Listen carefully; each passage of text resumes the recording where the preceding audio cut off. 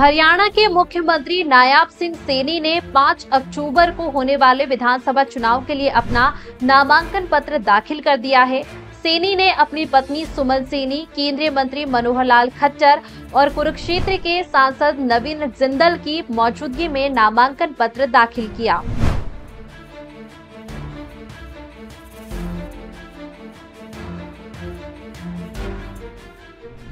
इससे पहले मुख्यमंत्री ने लाडवा विधानसभा क्षेत्र में रोड शो भी किया। नामांकन के दौरान नायाब सीनी ने अपना हलफनामा भी दाखिल किया।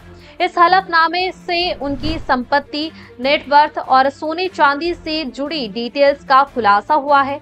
मुख्यमंत्री ने अपने चुनावी हलफनामे में अपनी चल और अचल संपत्ति का डिटेल ब्यौरा दिया है, जिसके मुताबिक नायाब सेनी ने बहत्तर लाख अड़सठ हज़ार रूपए और चार करोड़ पचासी लाख रुपए अपनी संपत्ति घोषित की है। नामांकन पत्र के अनुसार सेनी के पास एक दशमलव पचहत्तर लाख रुपए नगद है, जबकि उनकी पत्नी के पास एक दशमलव चालीस लाख रुपए है।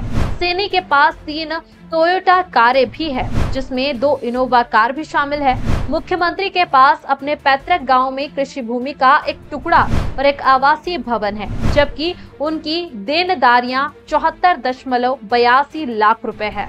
मुख्यमंत्री नायाब सैनी के पास दो लाख रुपए कीमत के जेवरात है, जबकि उनकी पत्नी के पास साढ़े छह लाख रुपए के गहने हैं।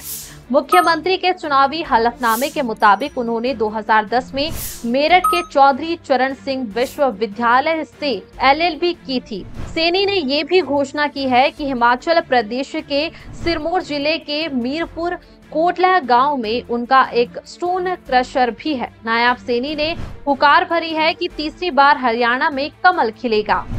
मैं मंच पर बैठा हुआ सोच रहा था कि हुडा साहब सपने ले रहे हैं। कौन से सपने ले रहे हैं जब इतने कार्यकर्ता नौ बजे के बैठ करके तपस्या कर सकते हैं तो फिर कमल के फूल को खिलने के लिए कोई रोक ही नहीं सकेगा। और मैं आपको बधाई देता हूँ और आपको एक बात कहना चाहता हूँ। जिस लगन के साथ आप लोग बैठे हैं, आप सभी लोग आठ तारीख को कमल का फूल खिला करके राम जी को चंडीगढ़ लेकर के आएँगे। मैं स्वागत करूँगा आप लोगों कांग्रेस की हवा होने के बावजूद बीजेपी उम्मीदों की लहरों पर सवार है, जो मान रही है कि हरियाणा में हैट्रिक लगने वाली है। हालाँकि, अब एक महीने से भी कम वक्त बचा है, जब तय हो जाएगा कि हरियाणा का सरदार कौन होगा।